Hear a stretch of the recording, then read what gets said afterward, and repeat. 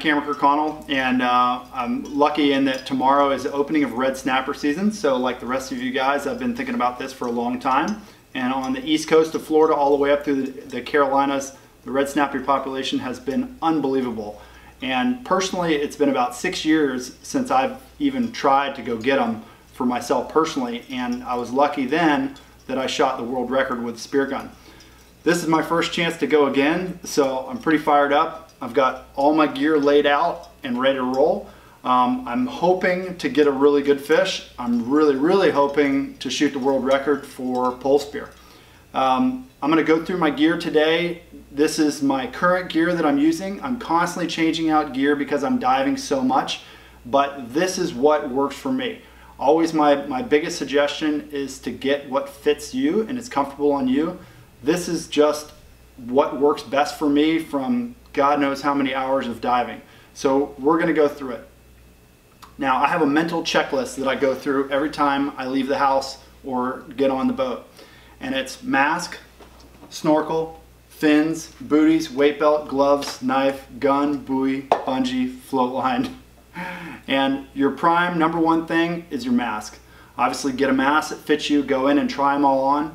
This has been my favorite. It's a Cressi Nano. It's small, it's easy, it's simple, and it works. Um, this is probably my fourth or fifth one. The snorkel I use with it is a Riffe Stable snorkel. Between this and the J snorkel, they're both top notch. This is very simple, very easy to use. Uh, fins is my next one. I have um, Moana fins, which are really exceptional fins. They're nice. They make two different models. I like the shorter ones like this. I've obviously got my other sponsor stickers on there, but Moana makes a great fin. Stingray foot pocket with it, nice and flexible. You can see I've just beat this one to death and it's held up. So great fins. Mass snorkel fins, booties. Booties I use are the Argos. Nice and simple. A couple other companies have knocked these off now. These are the longer ones so I can tuck it up underneath my wetsuit. And then I use the shorter ones too in summertime. Nice, simple, I think they're one and a half or two and a half mil socks. They got enough grip on the bottom and they work great. Mass snorkel fins, booties, weight belt. Weight belt, I've still got a lot of weight on this from my last trip, which was hunting bluefin tunas. Um, so I'll take a couple weights off of this. I'll keep the brightest ones on so it's easier for the guys above me to see me. My knife is on here. I use a, a red tide dive knife, which is really easy and simple to use and I can just pull it out like that. There's always these different, you know, clasps and stuff that people use to lock them on there. But the easiest, simplest way is just to put that over the top. That way I can grab it with either hand and pull it and it just comes out. Um, use a double serrated blade. I cut a lot of chum. I gut all the fish. I gill all the fish. So I want something that I can not even think about. I don't want to have to sharpen it or anything. The next thing is, is gloves. These are Cameron Kirkconnell gloves, um, ironically enough. Uh, we wanted to, to create a, a glove, myself and Brad from Headhunter, that held up for what we like to do, which mostly is pole spearing and, and catching you know big fish. We put this on the back of the hands to protect them really well, and I did the palms so they grip the pole spear really well. We came up with the idea because I was working on ships at the time and we had really nice protective gloves and we went through probably 20 pairs before we were able to develop this one. Again, everybody's knocked it off since then. It's a fantastic glove, but make sure you get something that grips really well and protects you. I always want my knuckles protected because I'm always putting them in the fish's gills and they always get torn up. So now we're getting into the kind of terminal tackle here and you see I've got two different buoys. My bigger buoy is a pretty simple buoy. Basically, it's it's a it's a big, um, I think this these are 30 liters or so. It's yellow, it's bright, everybody can see it. It doesn't have any weight or anything on it, it just floats. Um, and the guys can see it from a long way away. I've got a 100, um, 100 foot uh, Riffe Armor Spectra float line, which is really low drag. It's thin, it's easy to move through the water. And I've replaced the normal clips, the tuna clips, with a snap swivel so it's even smaller again in the water and I clip this off to the back of the pole spear and I'll show you how to do that in a bit. Um, the little buoy I use this depending on how the current is. I'll clip this off halfway to get the line up above me in case like it's the current is weird or something just to keep it up out of the wrecks or rocks or whatever. And when we're working around structure that I need to like swim through stuff, I'll put this on the back of it instead of the big buoy just to have the float line up. And if need be, I can swim all the way through and pull this all the way through. I've got another backup mask. I've got my light. This is a, a Neptonics light, which is really good. It's really bright.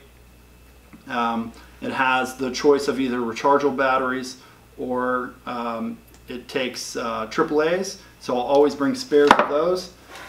Um, that's the that's kind of the the core gear. The next bit is water temp. It's gonna be pretty warm tomorrow. Um, the sun's gonna be out. Uh, the water temp has been really hot. I think it's in the mid 80s. Personally, I always like to be covered. I'm such a wuss. Like I'm in the water. I don't want to get stung by anything. It just makes for a miserable day. Um, also, when you're free diving properly, you should be really, really relaxed so it's easier to get cold. This is a 1.5 millimeter two-piece suit from Headhunter as well. Um, he basically created a, a, suit for us diving in the summer.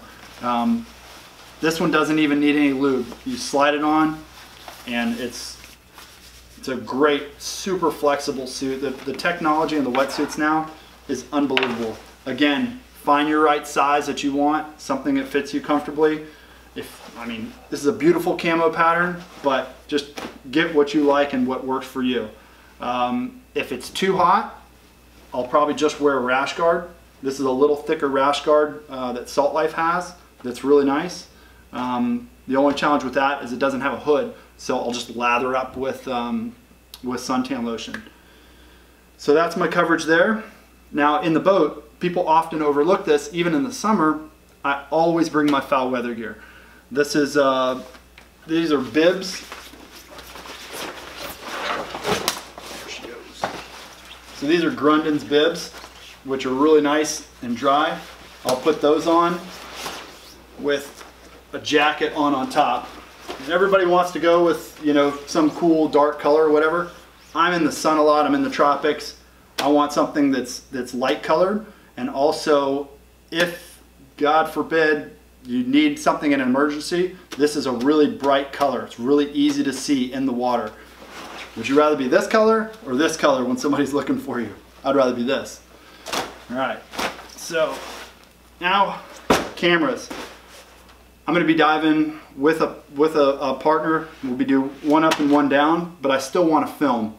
So I've been using for the last couple years the Paralenz camera, which I've been really happy with. It looks just like my flashlight. It's very hard, very, um, very simple and easy to use. I've made a couple uh, alterations on it to make it easier for myself to, to tell when it's on top of my head what position it's in. It beeps and vibrates, which makes it easier, but you can see I've made it easier on myself to tell what position the camera is in because this is how you switch it from on and off camera video. I've super glued a crimp onto there and a, another piece of um, plastic onto that so that I can easily tell when it's on my head what position I'm in. And then again it vibrates so it makes it really easy. So I've got that, I've got a charger in here, and then I've got multiple different mounts and zip ties that I keep just in case I need to adjust. Um, and in the next video I'll show you how to mount this thing on your head so that you can keep it on your wetsuit and it's, it's basically hands-free. So the last bit that's going to go in this bag are going to be my knives. Um, we're going to be cleaning big fish, hopefully. Um, so big red snapper. This is a 9-inch um, semi-flexible blade by Bubba. Um, and I've got, I've always got a bag with me as well that I just keep Ziplocs ready to go. Um, you can put ice in here and as soon as you cut the fillets you can put them in here. And then I've got a trash bag for the bigger pieces that I want to take home like the heads and the collars and stuff like that. Um, last bit is in the boat I'm going to have a little GoPro. Um, instead of bringing my big camera housing I'm just going to have this set up so that as soon as I get out of the water I can grab this and talk to you guys about the, uh, the fish that I get. Now I've got all this gear. I'm going to put it in my bag the, uh, the bags that I've been using for kind of the day, I call it a day bag, is a gilly. This is a gilly bag, It's really well built, it's pretty, pretty sturdy, and it breathes really well, so it dries off very, very quickly. Um, I've always got a couple of other smaller bags in there. I put like slip tips in, um, put whatever small gear in that, and I have a lot of different options for stuff to put in this bag. Um, if I was traveling, if I was flying somewhere, I would keep this folded up and I'd put it in all everything in a big roller bag until I got there. That way it's easier to travel through the airport. But I'm gonna drive up there today and it'll make it a lot easier just having one bag and this simple setup. Thank you guys for watching today. Uh, please subscribe to my YouTube channel and that'll inspire me to do more of this and include you guys more in our adventures.